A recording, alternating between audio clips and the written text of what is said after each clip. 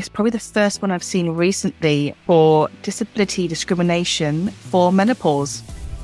This was a staff member having uh, menopausal symptoms.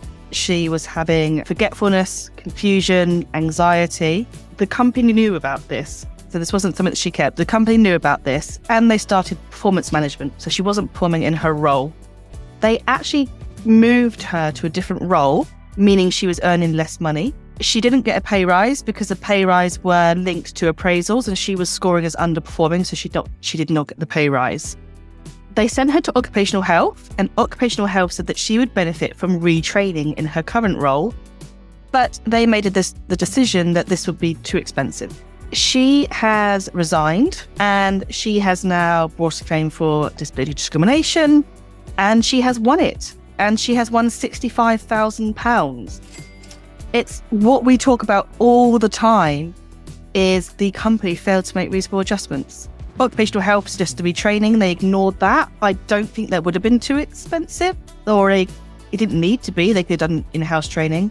Just demoting her, there there was no evidence they put anything in place to to help her. So that is probably going to be quite a landmark case now, and a warning for everyone that any kind of health condition, if you know about it, to have that discussion about reasonable adjustments. And they're called reasonable for a reason. You know, if you can't accommodate them, that's fine, but you need to be able to justify why. So them just saying retraining was too expensive, it, it didn't cut it in, you know, in front of a judge. You have to prove that you did everything reasonable so that they can't say, I never got that email. I've been doing a little bit of tribunal research recently and stumbled upon an interesting case. The person making the claim worked for their employer and then was dismissed for poor performance. Then a year later, they applied to work for their employer again. They needed to fill in the pre screening application questions online. This claimant has dyspraxia. It's a condition which affects movement and coordination. People who need to write or type can find it more difficult with dyspraxia. The claimant knew that they couldn't fill in the online account and they emailed the HR team of the employer to say they were interested in the role and asked if they could have an, a phone call to go through the questions rather than needing to type them out. The HR team responded back and, and asked what specifically they were struggling with so that they could help. And they did ask that over email multiple times. The claimant never actually responded to what was wrong, and in the end, they couldn't make an account, and the role was offered to someone else. The claimant then goes to an employment tribunal to say that the process wasn't fair for someone with a disability. And once the case goes to tribunal, it's judged that although the employer asked multiple times over emails what the issues were with the form, they never actually responded to the query on whether the employee could make a verbal application. They only try to resolve their issue through the thing that they're having a problem with. The case then actually got appealed by the employer, who again were like, we feel like we've made reasonable adjustments. Even at the employment uh, tribunal appeal, it was ruled that they didn't make enough reasonable adjustments by allowing them to submit the application verbally or calling them to speak to them about the issues. And the key point is that because they had worked for them before and this uh, the claimant was open about it and it was on their CV, they knew that they had dyspraxia. So they should have put two and two together and said, oh, this might be a bit more difficult and called them. If you've ever had an issue with your employees, a lot of the times we'll suggest you try and get in contact with them in multiple different ways. For someone who finds it difficult to communicate in one way, you as the employer, it's useful if you show that you've tried to do it in multiple different methods. The other thing that I thought was useful here if you've got any applications or putting any job adverts out, make sure you've got alternative methods on there if someone has an issue that they can contact. So even if it is just a phone number at the bottom or an email or a website link or something, just so that someone who is having a problem can reach out to you anything to do with disability, the onus is on you to do everything possible to get in touch with people and to communicate what you're trying to achieve, not just in the easiest way, but in every way, because there will have been an award, and even worse, with all of these things, other legal costs that you're going to have to have paid, what, easily £10,000 to have got to court and then to appeal it. What we took more like 20000 actually, and you'll not get that money back. Now, you couldn't prove usually that they did get the email. They don't have to give you a read receipt, okay? But if you've sent a voicemail, you've rung them, you've sent them a text message, you've sent them a WhatsApp message, you've sent them an email, worst case, you've sent them a letter, you might have hand delivered a letter, although we don't tend to go there if we can avoid it. You have to prove that you did everything reasonable so that they can't say, I never got that email. Your whole process is worth nothing. That is where it went wrong.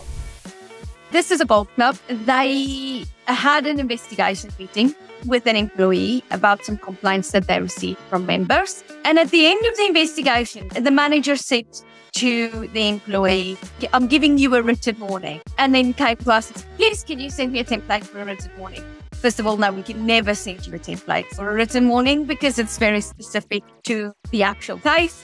And now you absolutely cannot have a, a written warning as an outcome to an investigation.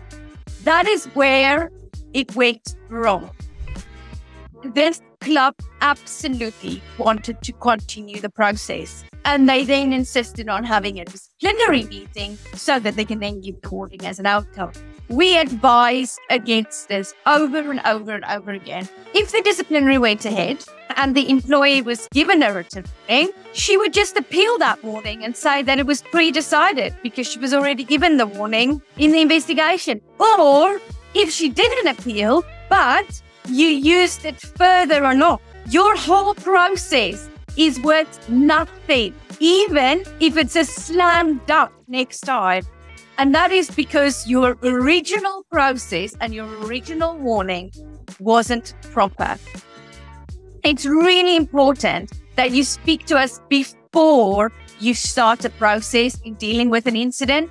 And if we say to you, you've gone wrong, there's no way to say this, then we have considered every legal option. Please understand that we would advise you as many times as we need to. We will use wording like we strongly suggest that you don't.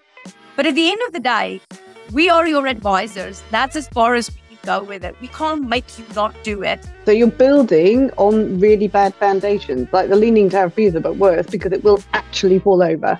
So there's no point in carrying on and going, oh no, we'll just do it higher and higher because then it'll be fine. It will balance itself out. No, no, it won't. You, there's no point going ahead because it's not that the employee is innocent. It's just that the club has followed the wrong process. We're not trying to tell you off. We're trying to protect you so you can get the end result you want. But if you're not going to get that, there's no point carrying on because you're just going to waste everybody's time and, and patience. We're dealing with a kind of a strange case. Like it happens sometimes, we've got two employees who don't like each other. These two people are like water and oil, they just don't get on. And then we've got the, the general manager of the club. What he did was give them ways to further uh, separate their relationship. So rather than having them work together, going through mediation, finding the issues, etc., he made a book that they could communicate to each other in. So rather than ever having to speak to each other, they could just write notes in the book and the other one could respond with notes in the book. So it now goes on for a year. They haven't spoken in person for a year. Found that one of them is now writing rude comments about the other one in the book. And because they these two are the only two people who see it, this it's not like a long list of people who could have written these notes. It's one person wrote about the other one. I'll use the nicer version of the words they're using. You aren't performing in the role. You aren't the cleverest person uh, you're consistently making mistakes, those type of things, just imagine they're worse. And this is going on for a while again, and the manager's kind of tempering it down. He's not taking an active step in trying to solve the problem or, or agree. It's more hoping that it will solve itself. In the end, uh, we get a grievance raised by one employee, employee A, raises a grievance against employee B for all the horrible things that they said about each other in the book and performance issues. I ran through the grievance with the manager and having looked through everything, it was partially upheld. So there was sections of it that were that there was truth, sections of it that we couldn't find any evidence to prove. that we partially upheld it. Because one got invited to a grievance investigation meeting, the other one then raised a grievance. She's like, I'm not having it. So now another grievance raised, and we're going through that process again, right? And in both grievance investigation meetings, both employees said, I brought this to you, I brought these issues to you, thought you dealt with them, but it turns out nothing has been dealt with. And in there, I think it's kind of a lesson for all of us. This manager thought he could kind of just sweep it under the rug, and in the end, uh, nothing would really come of it. What they have instead is two grievances, two unhappy employees, both of them saying they no longer feel like they have trust in their manager anymore because they brought multiple issues to him and he didn't really do much about it. And this is all someone didn't deal with the issue head on at the time. In case you've got anything like this going on at your club, if you don't know where to go, then reach out to us. That's what we're here for. Addressing the situation as soon as it comes around will save you this back end process that I'm going through with this manager of trying to temper down these grievances and playing whack a mole to stop everything else coming up because we didn't deal with it in the first. If you have employees on any sickness that's more than seven days, they have to provide you with a sick note to cover their entire absence. If you have an employee who's been off for four or five or six weeks and their sick note runs out, you should really be getting in touch with them sort of the day before or a couple of days before to see how they're doing, if they're returning to work, do they need anything. You're trying to establish whether they're going to come back or whether they're going to give you another sick note without asking like that. And then they should either return to work or have an arrangement with you about returning to work in that week on maybe reduced hours or light duties or something, or they should have another sick note we're starting to see where people have big gaps in their sick notes. The other thing we're seeing is that employees just stop giving you sick notes. That's not acceptable. They have to give you sick notes. They have to continue to follow the correct reporting procedure as per the staff handbook if they are still employees. So even if they're employees, you know, have gone past 28 weeks of SSP, they're not getting paid anything, but they're still employees. Even if there's no view of them soon returning, you should be talking about to us about that anyway, so we can start to help take some steps. But they should still be giving you sick notes. So what do you do if you don't get a sick note? The first thing to do is to chase them um, for the sick note to say, I haven't got your sick note. I need your up to date sick note. Please send me a sick note. If you don't get it, then you take a slightly tougher approach. And the email then says, you know, after asking you for the sick note and asking the staff handbook, you haven't given that sick note. And then giving them a deadline to give you that sick note by. If they then don't give you the sick note, that's when you then start investigations into unauthorized absence. Don't just leave it. You need to be on it because as much as it is their responsibility to give you a sick note, as an employer, you also need to make sure your house is in order and you need to be getting those signals from those employees. And if you're not getting it, that's where we really need to step in and start to help you with the um, process for unauthorized absence. You can fire anybody for anything. It's just what are the consequences going to be for you? When we ask you if someone has a protected characteristic, sometimes we send you a nice little diagram of what they are, even though we know that you know all nine of them off by heart. But sometimes they don't really mean anything to you. One of them is age. Everyone has an age. What does that actually mean? And sometimes taking a step back and seeing how it applies to your organization, to your club. So when we talk about age, we probably have numbers in our mind that we think is old, and we have numbers that we think is young, for example. Look at your club. So are you dismissing someone in their 60s, for example, that you would not normally class as old? but they are the oldest person or the oldest employee in your club. That means there is a risk of age discrimination if they say you dismissed me because you thought I wasn't physically able to do the job, whereas the younger people were, for example. Or again, on the flip side, someone that we would class as young, an 18 year old. Are they the youngest person in your team? Had they been subject to comments like, oh, you're young, you don't know what you're doing, you haven't made, you're not very mature? yes, that is age discrimination because you're you're treating them unfavorably because of their age. Another example, sex. Again, we all have a sex. What does that mean? If you were dismissing the only female on your team, then that's quite a strong case of sex discrimination. If your team is predominantly women, then they can't say you're treating them unfavorably because they're a woman. Their case is not going to be as strong as someone who is the only woman in the team being dismissed, as opposed to being predominantly women. So when we ask you about protected characteristics, we don't expect you to be expert, but it's, again, it's just thinking how it applies in your clubs rather than just how old someone is, what sex they are. It's always making sure that you you do talk it through with somebody on the outside to understand what those things are. You can fire anybody for anything. You absolutely can do that. It's just what are the consequences going to be for you. If you want to definitely fire this person go ahead knock yourself out. But you will be sued and this is how much you're going to have to pay. So just bear that in mind when you're doing it and it's the same with discrimination. Just because you don't think you're discriminating doesn't mean that you actually aren't. We tell you to record all meetings and we don't tell you to get their consent the message is more. We are recording and this is why. It's obviously best practice when you're recording at the start of the meeting to say i am recording this meeting. If this has happened without your knowledge i think firstly you can give some feedback and just say, look, if you are recording a meeting, it is best practice that you let all the occupants know they're being recorded and that they're entitled to either a copy of the recording or to make their own recording. Secondly, if you are particularly concerned, you can ask what they are going to do with this recording. So, who is it going to be shared with? Where's it going to be stored? Because it's all GDPR. You have a right to know what they're going to do with your data. When you're giving your feedback, just say, look, there are some things that we discussed that are highly confidential. That's why I need to know what is happening with this recording. Mm. And everyone needs to be bound by this confidentiality. Like that recording is not going to be shared to anyone who's not entitled to it. Or you can make the suggestion that if you are coming to a point where you are going to say something highly confidential that you don't think should be recorded, you're going to ask for that recording to be temporarily paused or stopped and you can do that at the meeting. And then if they refuse to do that, you can obviously voice your concerns. And if they absolutely refuse, you can say, okay, I, am going to tell you, but I, again, I need your commitment that this is going to be kept confidential. Because if it's not, then it's the breach of GDPR. Best practice, you should let people know they're being recorded because if they have any concerns, they should know about it to raise them to you. But just check how you're storing this data and who you're sharing it with because it is highly confidential just had a very serious sexual harassment case come in. Staff member and member. It involves kissing and physical touching. The club have asked, rather than suspend the member, can they just suspend them from some areas of the club? So, for example, the clubhouse. And I would just be saying to you, who's going to manage that?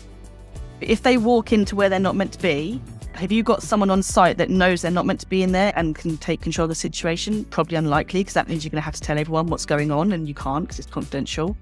Also, your other staff. This is one person that's come up with a complaint. It does not mean that your other staff don't have a complaint or that you're now putting them at risk of something happening because if you've not spoken to this member yet and they're still oblivious that thinking their behaviour is fine, you're now putting your other staff at risk as well. So I would say, obviously, I know we don't take suspension lightly, but in this situation, it's so serious that it should be suspension from the club as a whole and not just the clubhouse where the staff member is working. And this one was particularly interesting because he said afterwards, he, something to the effect of, Oh, are you going to sue me now for sexual harassment? It's like, Yeah, actually, why did you just do that? I don't understand why you would do that you know you're not supposed to. The other thing that's been coming up a little bit talking to the golf clubs and private sector this week is people not realizing that they have to enroll for pensions.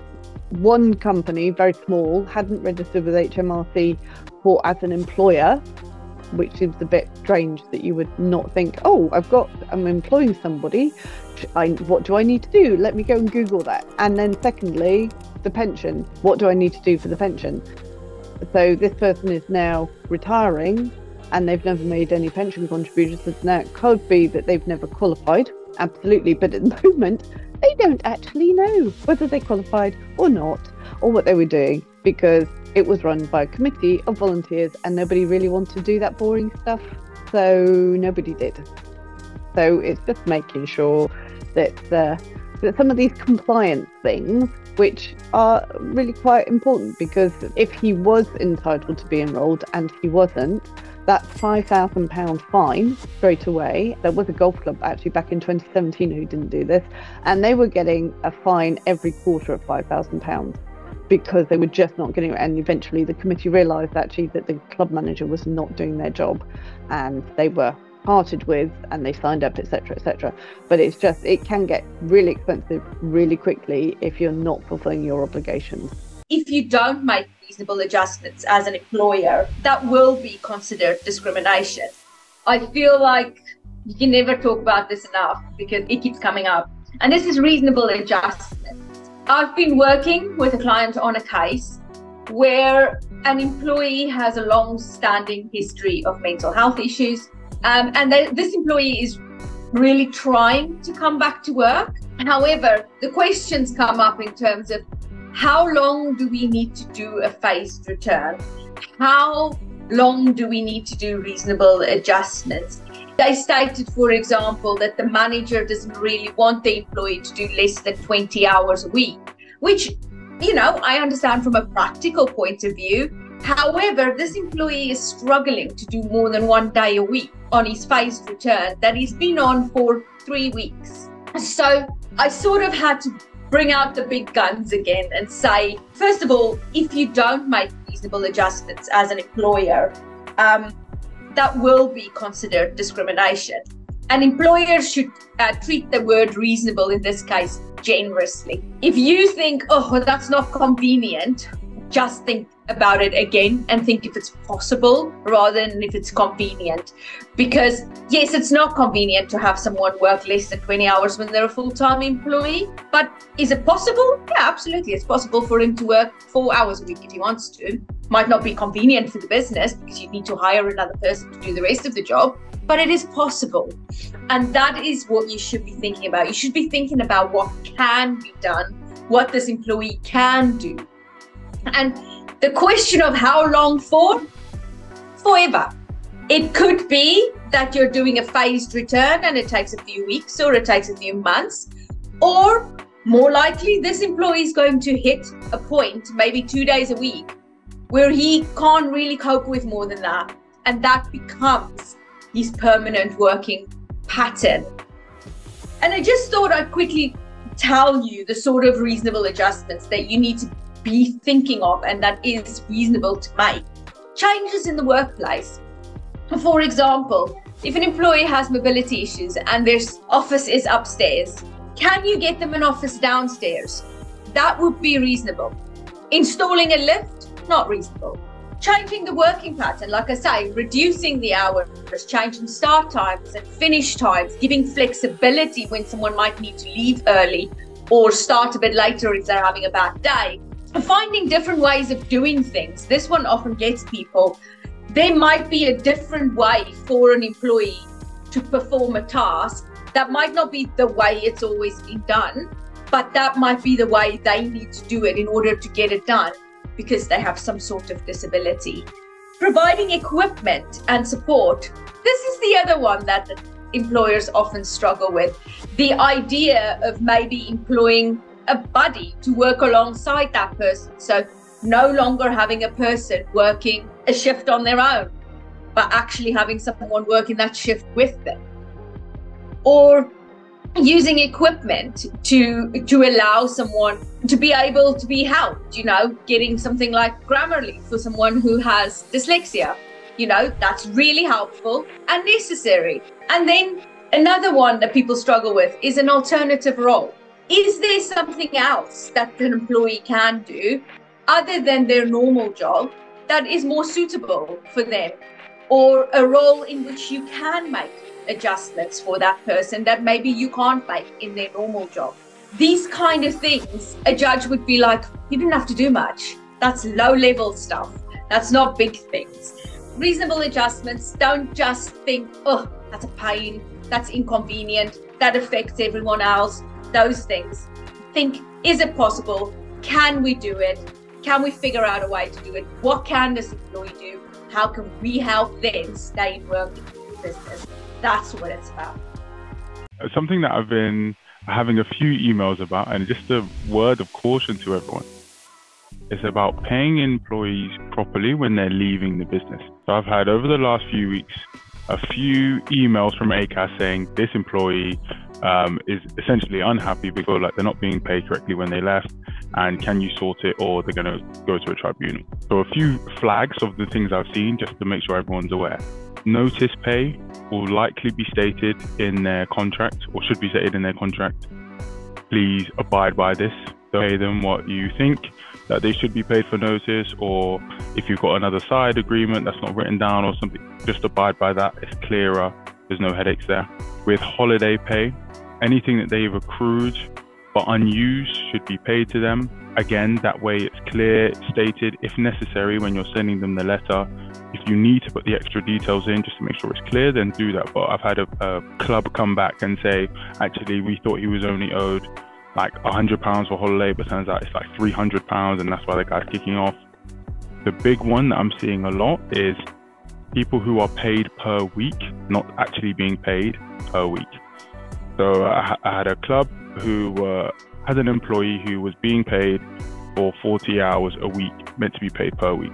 But instead, they were paying him 160 hours a month for four weeks in the month, right? Which you assume is right. But not every single month has four weeks in it. So over the course of his employment, he was underpaid by £2,000. They've had to then pay that. And that wasn't a nice thing for the manager to realize when I was like, can you go back and just double check the math? He was like, oh, wait, this was actually a massive flaw. So making sure you do all that homework before paying the employee at the end will save you a whole lot of hassle when ACAS come knocking on the door saying this employee is willing to go to a tribunal if this isn't settled. I know that there's, there's been a few other examples, but those are the main ones I've seen so far.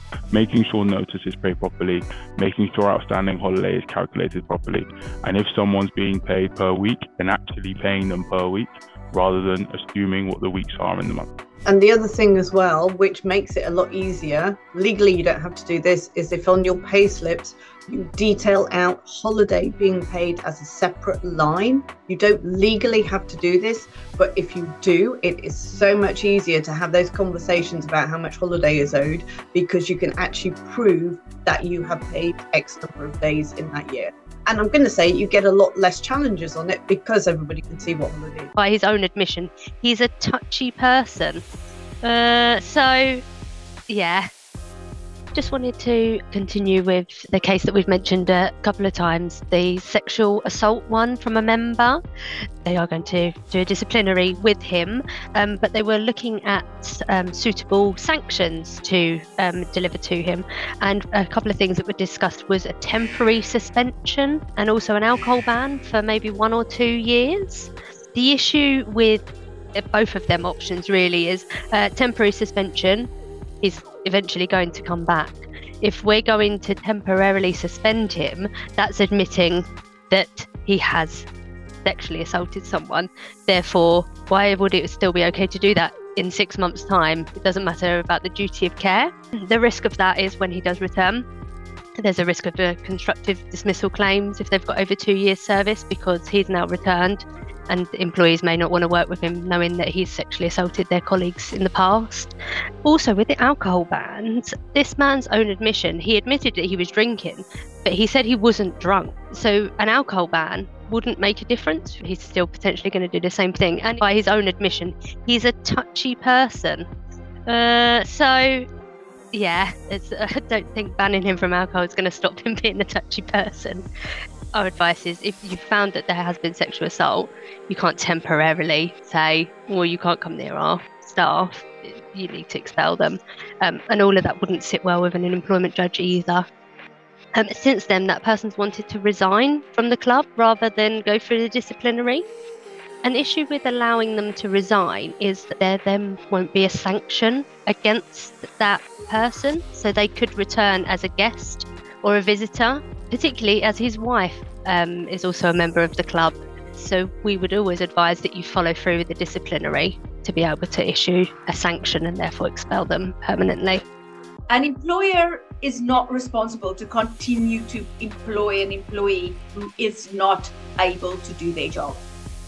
We don't come across this terribly often, nobody does really. One of our clients has an employee that had an accident. She broke her leg in Turkey on holiday she had surgery in Turkey after the accident and came back to the UK, and the surgery was not correct, it was substandard. This employee is now going to be off for at least 18 months. At least 18 months is what her consultant said. And the club wants to know how do we deal with this? What do we do? Can we hire someone? One thing they're not realizing, and I'm surprised because usually the first question someone would ask is, Do I have to keep them? They haven't asked that question. So I have pointed out that actually An employer is not responsible to continue to employ an employee for that length of time who is not able to do their job. Now, it is a fine line and it is very much case by case, but once you've run through the long term sickness process, and generally when you're sort of getting past the six month mark, if there is no return date on the books or that return date is not within a couple of months, at that point you can actually start a process of dismissing that employee for incapacity. It is a long process. Um, it's an SOSR dismissal, so the process is a little bit different than uh, investigation and disciplinary and then dismissal. You will have to look at every other option in your business, even if this person is a chef, but maybe you have a reception job available. You know, you might need to look at other options. But if you are in that position, you're not expected to keep an employee on for such a long time or indefinitely if they aren't capable of working. There are processes that you can follow to actually terminate that employee. You know, if you ever come across something like that, give us a call. We can help you through that process. It's the kind of thing that you think is really innocent, but actually can land you in a bit of situation. I'm dealing with a club right now who had an employee who was like a club admin who they then had vacancy offer up uh, a different role. So they said, yeah, you know what, trial period, you're going to do this for six weeks and then we'll come back. What they didn't do at any point was put that in writing. So they've just gone on and said to her verbally, yeah, this is now your job for six weeks on trial, but we haven't written that down anywhere. We haven't stipulated what the terms and conditions of the trial are. We haven't said that if this doesn't go well, that that you you might fail the trial. They haven't given any of that possibility. Now coming to it, the person's not succeeding well in the trial. The reason they're not is because of a disability. They've got dyspraxia. That makes it difficult to sometimes put words together, things are uh, start jumbling around, and it's really affecting the role they're doing. However, because this club haven't written down at any point that this is a trial period or etc., the role is taken as permanent. The change is taken permanently. So now they have to deal with an employee who is not doing well in their new role because they didn't go through the trial. And the risk here is, let's say the club say you failed the trial and put them back down to the role they were doing this person can now flag and say, Have you done that because I've got a disability? Or where is it that you told me that there was a trial that I may fail? Where did you tell me that? If you never told me that, I assume that, that you'd given me this role. So for them, it's a bit of a risk, it's a bit of a flag. So the ideal is you follow the full process. You give them a letter, you stipulate the details of the trial, um, you have review meetings so that at no point would they be caught unaware to say either this is not going well or this is going well. So what we're going to do is we're going to do the quiz. The trial period or probationary period can be any length you want it to be. True or false? It is true that because the trial period has no basis in employment law whatsoever. It can be any length up to two years because under two years there's no protection from unfair dismissal. But you don't have to have one. It could be a week, it could be three months, it could be six months, it could be two years. But there's no legal requirement for any particular length. What's the maximum award that a company would have to pay if they lost a discrimination case at tribunal? 10,000, a million, unlimited, or one year's pay? It is unlimited. This is why we're always so uh, emphasizing have they got a protected characteristic? Is there a potential of a discrimination claim? I'm going to say it's not usually as much as the sort of 3.5 million that the bankers got from the City of London, but they can add on quite a lot of money. How long can employees self certify their sickness leave for? Seven calendar days, five working days, three calendar days. They can't, they have to have a fit note. It is seven calendar days, five working days. Now, is that Monday to Friday, or is it five of their working days? Or if the club's open all the time, is it any five working days? And it's exactly for that reason that we don't use the designation working days. We only use seven calendar days, then it's seven calendar days, whether they were supposed to be working or not. How much company sick pay or enhanced sick pay do you have to pay if you employ more than five staff? One week full, one week half, one month full, one month half, SSP, or depends on the contract. SSP is what you have to pay, okay, if they qualify, and it also depends what's in your contract. So both of those are correct, but it's looking at both of those together to see what they have. The fact that you've got more than five staff was a red herring. That's relevant to health and safety, but it's not relevant to employment law. When do employees start earning annual holiday? After the trial period, from day one, after one year service, if they are performing well. It is from day one. Very good. I did speak to a potential client who stayed a potential client and never signed up with us because they said, oh, yeah, we don't let anybody have any holiday in, in the first year of employment. They can only have it from the second year. It's like, okay, we're not going to be working together. How much holiday are employees entitled to if they work five days a week? Is it 20 days plus eight days bank holiday, 5.6 working week, 28 days, or 28 days including bank holidays? All of those are correct because they are all the same, just differently phrased. So 20 days plus 8 days is 28 days. 28 days including bank holidays is the same as 20 days plus 8. 5.6 working weeks times 5 working days is 28 days and 28 days. So all of those are correct. Employees with less than two years service can just be fired. True or false? It is true. Now, we've got 50 50 there. They can just be fired. We obviously are looking at protected characteristics, but if there aren't any, they, you just say it's not working out, off you go. Whereas if they're over two years, that's never an option. Um, so that was really good. Well done, everybody. Those are the basics that I go through when I'm talking to club managers at golf clubs. It's just quite scary sometimes. These are the basics this is not how you do a disciplinary process. This is not how you do a good restructuring. This is not how you deal with sexual harassment claims. This is the nitty gritty everyday stuff that needs to be known. So it's just making sure that your team knows it as well so that there aren't any inadvertent issues with anything. No one should be at a financial detriment when they're on holiday.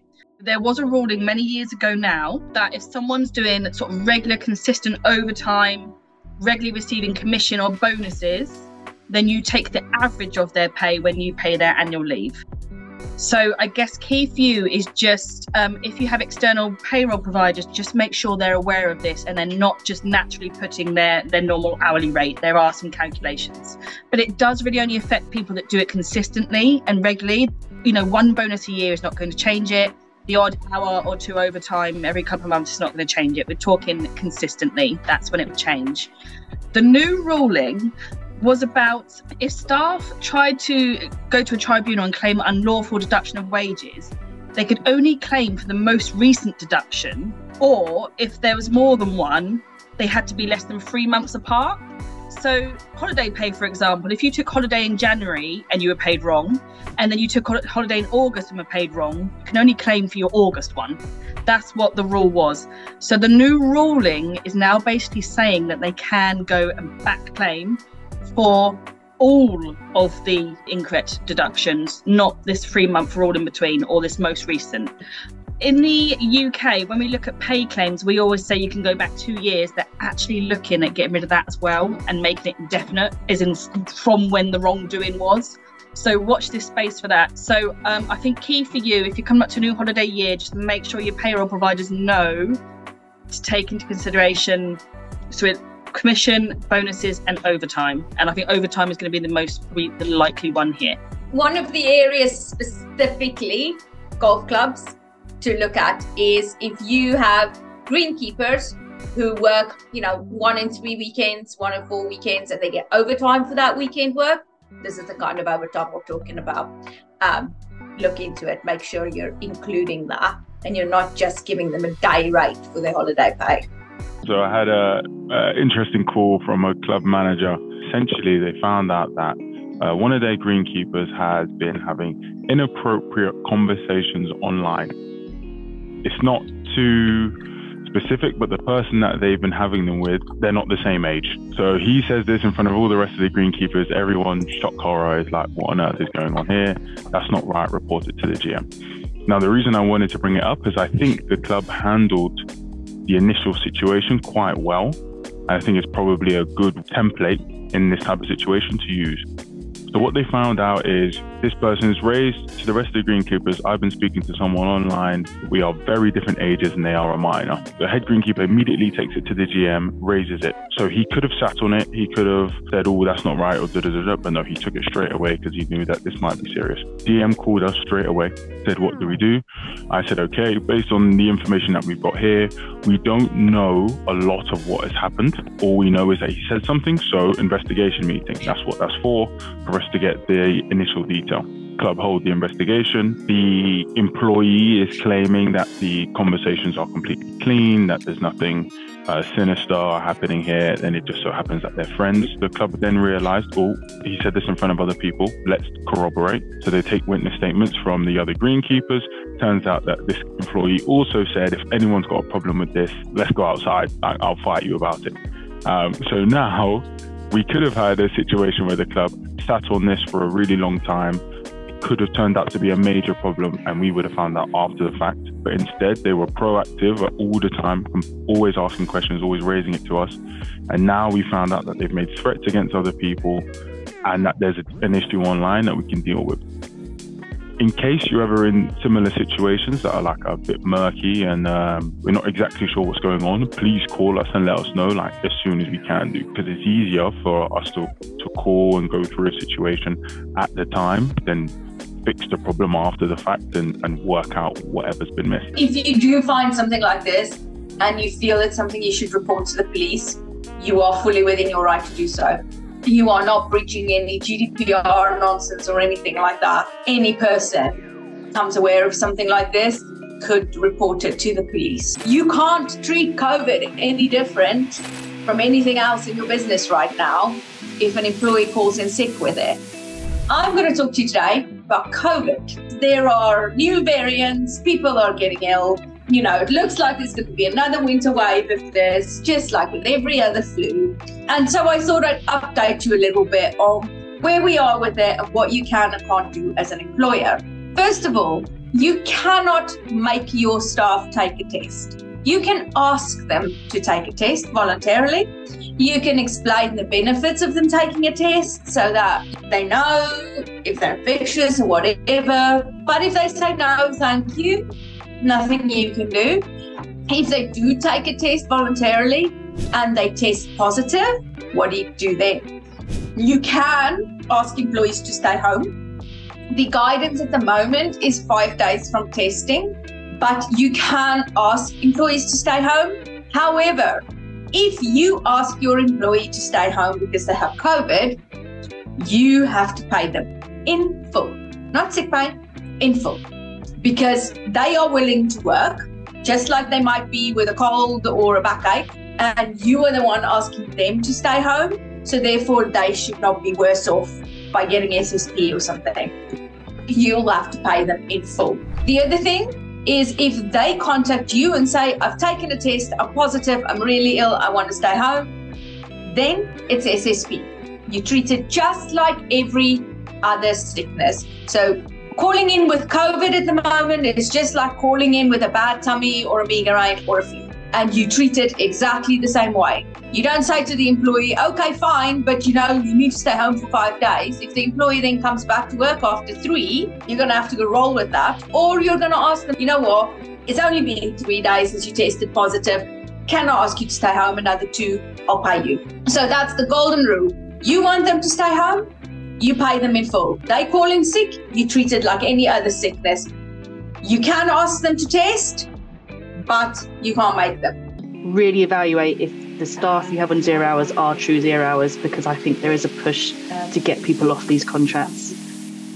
So I just wanted to talk a little bit about the Workers' Predictability Act.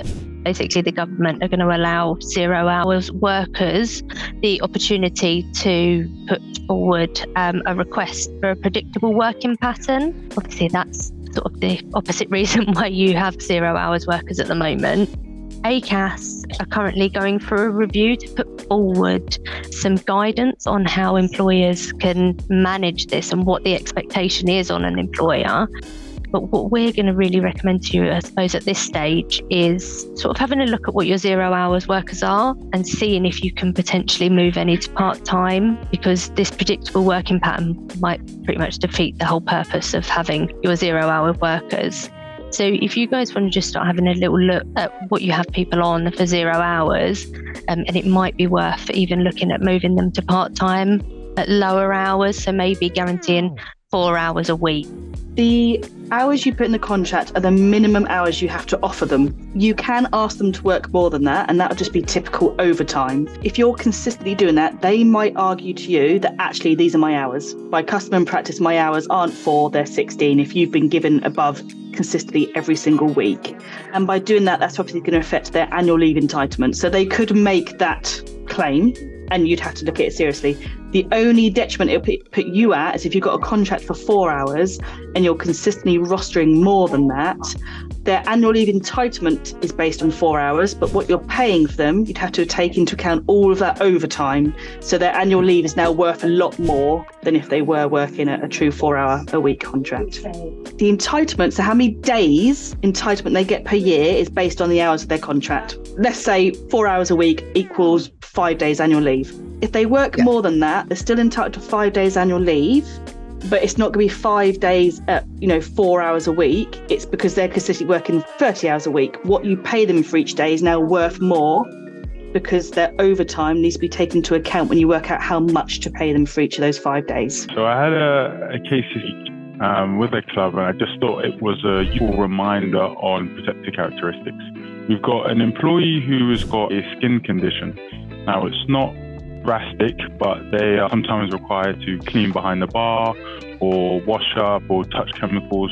And dependent on the chemicals, it can really irritate their condition and quite sore and quite uncomfortable for them. Now, this club's policy is that they normally wear short sleeve shirts, and employee is asked whether she can wear a long sleeve shirt or a jumper to stop chemicals or anything that she's touching affecting her skin condition. Now, this is a long term condition classed as uh, possibly classed as a disability, and it seems like a reasonable adjustment for her employer to allow her to do something to make sure that her condition isn't uncomfortable. Her employer didn't agree, and for the past three years hasn't allowed her to wear a jumper, hasn't allowed her to wear a long sleeve shirt. It turns out that her manager did allow a different employee and actually bought them specifically long sleeve shirts for them to wear at work because they also have a skin condition. So when the first employee raises up in arms saying, Well, why have you done that for this person? We haven't done it for me. The employer couldn't give a satisfactory answer. There isn't too much difference in both the conditions. One person is just meant to get on with it and keep going, and the other person has been given an adjustment and given additional support by the employer to help them. If this employee now decides to go make a claim saying that I've been discriminated against because of XYZ, because they haven't done something for my condition, but they've done it for someone else, and what's the difference between me and them? It's on the club to make a clear defense of why that's not discrimination. And on the face of it, having gone through this with them, it would be.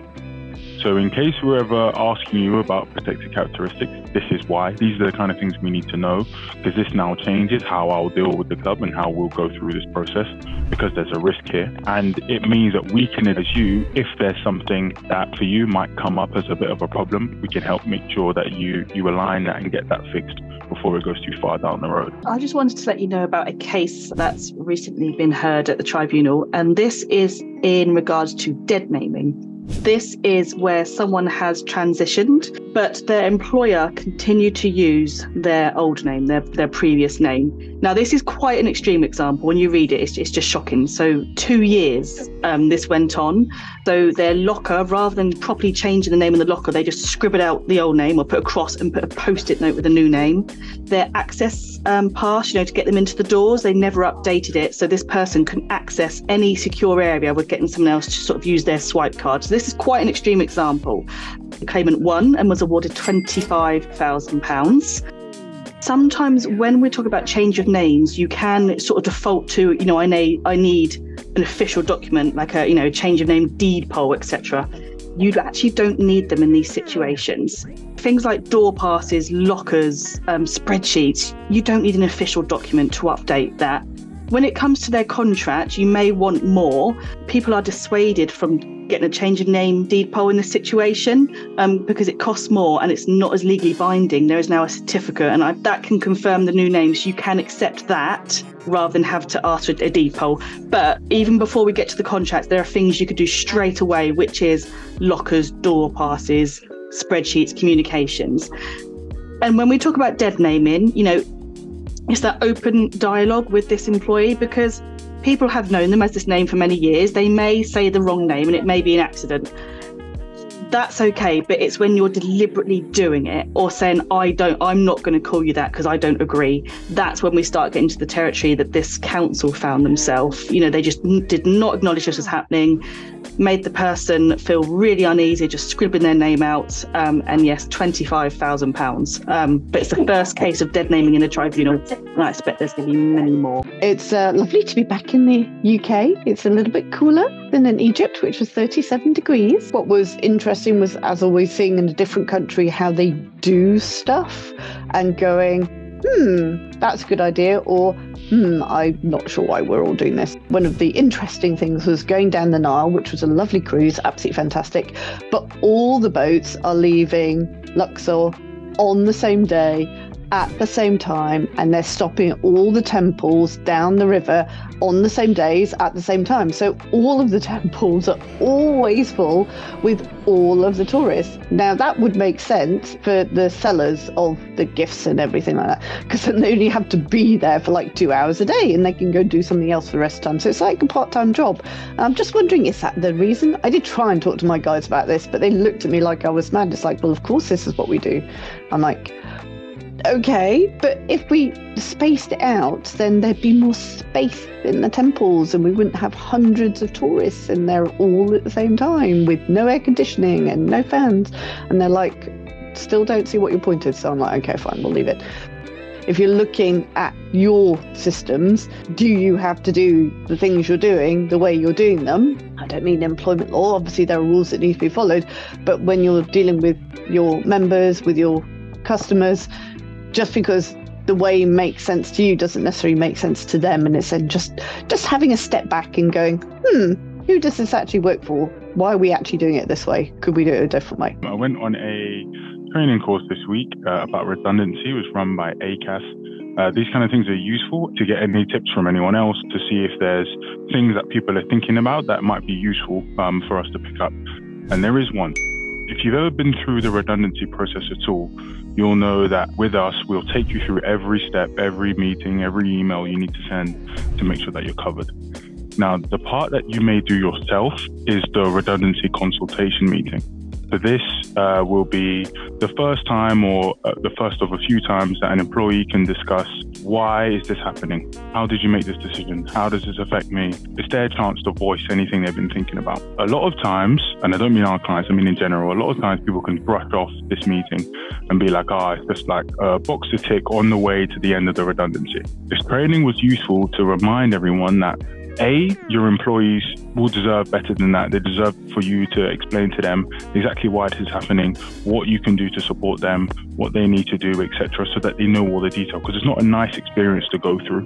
And if it means that you've got to this point where it has to be done, that's fine. But let's not make a bad situation even worse. And the other thing that is useful is sometimes your employees might know one or two things about the business that you aren't really aware of that could be a better method than the redundancy you're thinking about. So, like for example, I had a redundancy case a few months ago where an employee said, actually, the revamp that we're doing of the clubhouse is really expensive, and we've all we all know that we don't need it. So you could put that on hold and do this redundancy later on in the year. The club decided it was viable and decided to do that instead. Sometimes uh, an employee may not always happen, but they might know something or find a different way around the process which helps you and helps them. The training showed us a few tribunal examples of what happens when employers don't take alternatives into consideration. And sometimes they end up in a tribunal because they haven't followed the full process, they haven't done everything necessary, and it looks more like they tried to get someone out rather than viably doing a redundancy. And make sure in that meeting you get as much detail to the employee as they need to know. Treat that meeting importantly. And if they've got any suggestions, make sure you can either evidence this doesn't work for us and that's fine, or really review it and, and obviously speak to us and we'll help out to see whether you should go with it or whether a proposed redundancy would be better. There are some situations when we don't think TUPE applies but they apply in more situations than you think. So the first was a club wants to outsource their accountancy, all the accountancy, outsource it to a contractor. They have someone doing accountancy part time, bookkeeping part time. So we said, okay, but that's a TUPE. Um, and the club were like, well, are you sure? Because that's a consultant, that's someone coming in, and they're not going to want to employ, you know, Jane who does the accountancy. Um, so actually, it is the job is not going anywhere. You're just moving it to someone else. If you went ahead, you got a contractor in, she would naturally TUPE over to the new employer. Now, in this situation, unfortunately, there are protected characteristics, multiple. So we've discussed redundancy. Redundancy is not a viable option because the job is not redundant, it's just being outsourced. Um, so this is likely going to end in a settlement because the contractor does not want a member of staff. They want to do everything themselves. The second um, scenario is a club has a contractor doing the cleaning. And this contractor employed two members of staff to clean for the club year round. The actual contractor has given the club notice to leave, which means the club now has to find another contractor to do the cleaning.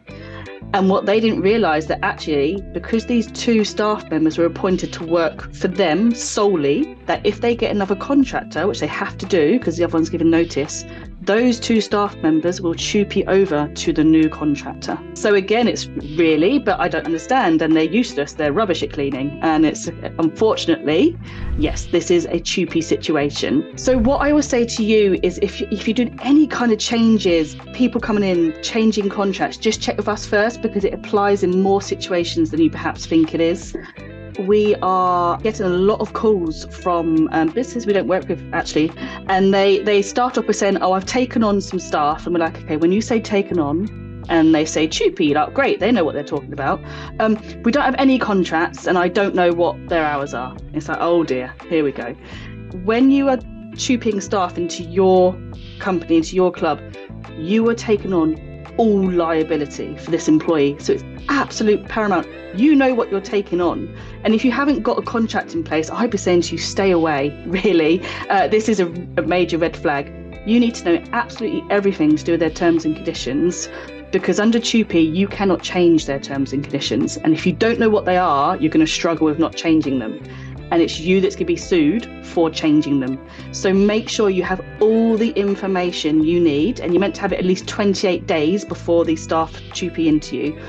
We have a spreadsheet that we can give you, which is what you'll need. And it's, again, it's things you wouldn't think of. So, yes, all the contractual terms, but actually, flexible working patterns, reasonable adjustments. Make sure you absolutely have all the information you need before you say yes to this transfer because all their baggage, all their luggage, as we call it, coming across to you.